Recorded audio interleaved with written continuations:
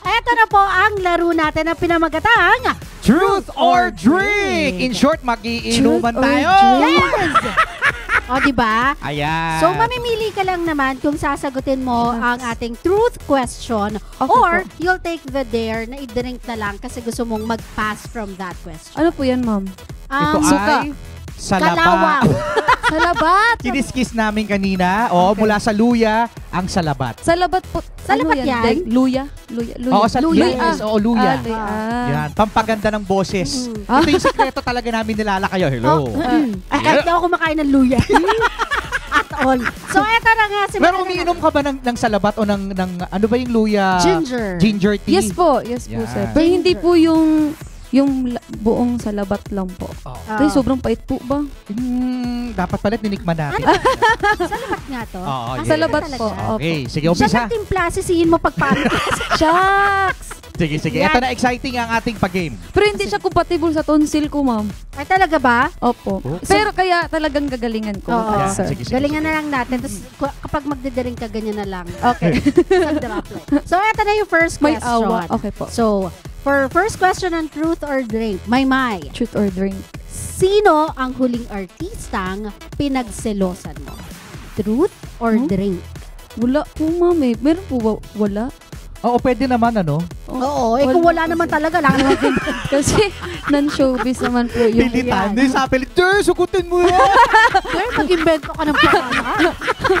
Kahit yung kapitbahay nyo na lang, Mike. Oo, ganun. Ah, Second question. Max. Oh, ito naman, Second Mike. question. Oo, no? Okay Um. Ikwento ang pinaka nakakahiyang ginawa mo. Oo, para makakuha ng atensyon kay crush. Pinaka na... Ayan. Pinaka na... o, yun napapansin ka. Yung best friend ko. Oo. Hello, Hi, best Patricia. friend. Best friend ko po siya since... Ano na namatay. Pero best friend ko siya since 8 ako. Ay, okay. Ay, talaga cool. ba? Hello. Hello. Ayan, best Okay. friend, meet my best friend. Ito naman yung best friend ko nasa dito. Hindi nga! Okay. So, yan. Okay, kunwari, hindi, na, Ah, ano, kunyari, nililito ko kayo. Ay, hindi, nililito ko kayo. Ay, nililito mo pa ako. Kasi na na. Ano Okay, na? ay, sorry. Ah, hmm, yung college po ako. Shucks. Pasensya po, sir.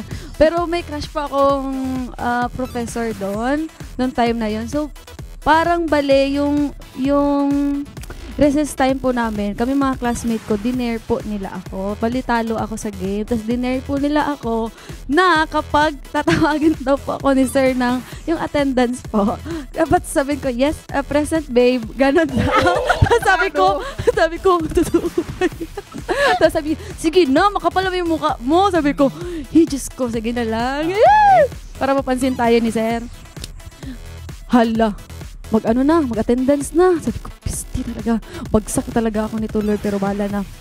Okay, uh, may may entra, ay may may entra. Mary Dale entratan ko na. Present, babe. Lahat sila nabuang sila, sir. Oo. Tawa sila ng tawa. Alam mo si ko ano nakakilig. Mm. Sinabi ni sir, good job, babe. Ano po ang narasan? Bakit kinilig ako? Bakit for real? Kinilig ako? Oo. Bakit ganun? Ang galing ah. Oo. Ay, ayun, nakakuha tayo ng tip kay Maymay. Wow. Buti game si sir. So, ka- kung meron Oo. kayong crush na professor, that's how you do it. Yes. Pero baka iba naman po yung personality ng professor nyo. Ay, kasi po yun, sabay po yun si Sir eh.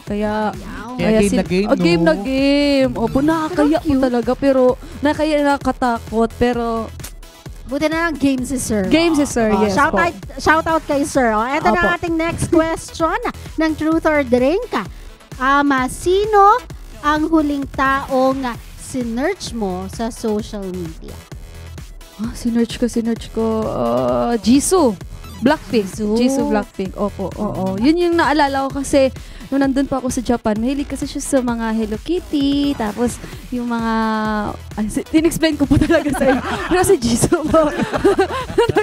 Nagustuhan ko yung Elaborate. outfit niya. okay, thank you. Samantalang ako huli kong sinerch na tao, si Anne Boleyn. o, di mo yun alam, no? Kasi ang ang ang sinerch ko lang ay ay wag na kilala niyo po si Jisoo, the Blackpink. Oo oh, naman. Ay, grabe, ang ganda. Oo oh, naman. Opo. Hindi man ako bias ko I really know yung oh. apat. Yan. I really okay, know. Oh, yeah. Sige, ito naman. Ano naman ang pinakamalaking kasinungalingan na nasabi mo, Maymay? Na okay ako. Oh, oh yes! Relate! Oo, oo nga. Hashtag relate. Mm. That, I okay, think okay. that's a lie na we not only tell to people, pero we tell to our- ourselves na okay ako.